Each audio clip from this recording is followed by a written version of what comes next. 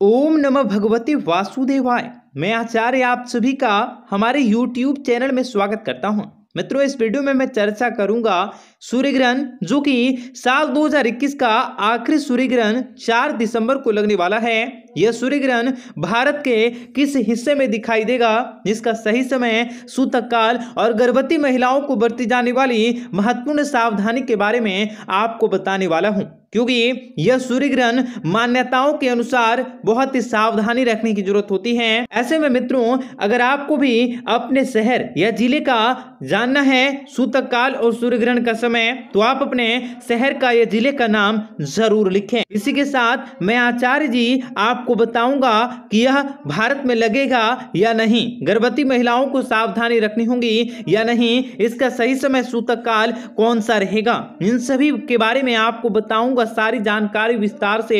आप किस प्रकार से भगवान की पूजा उपासना कर सकते हैं और किस प्रकार से आपको मंत्रों का उच्चारण करना होगा। मित्रों, इन सभी के बारे में आपको बताएँगे। उससे पहले वीडियो को लाइक करके चैनल को सब्सक्राइब अवश्य कर लें ताकि रोज़ाना ऐसी ही रोचक जानकारियाँ आपको समय से मिल सके।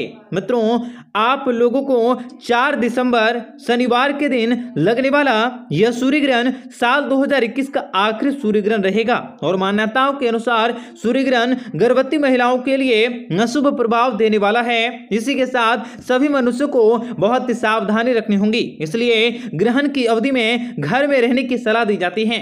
और सूर्य ग्रहण के दौरान गर्भवती महिलाओं को सब्ज़ी काटना, कपड़े सीना आदि कार्य से धारदार उपकरणों का प्रयोग करने से बचना चाहिए। इससे गर्भस्थ शिशु को शारीरिक दोष हो सकता है। सूर्य ग्रहण के दौरान गर्भवती को सोना, खाना पीना और सजना सवरना नहीं चाहिए। और मैं आचार्य, आप लोगों को बता दूँ कि इस दौरान देव्य मंत्रों का उच्चारण करना चाहिए और ग्रहण के दुष्प्रभाव से आप बच सकते हैं। ग्रहण की समाप्ति के बाद गर्भवती महिलाओं को पवित्र जल यानी गंगा जल से स्नान करना चाहिए। नहीं तो उसके शिशु को त्वचा संबंधी रोग होने की आशंका होती है।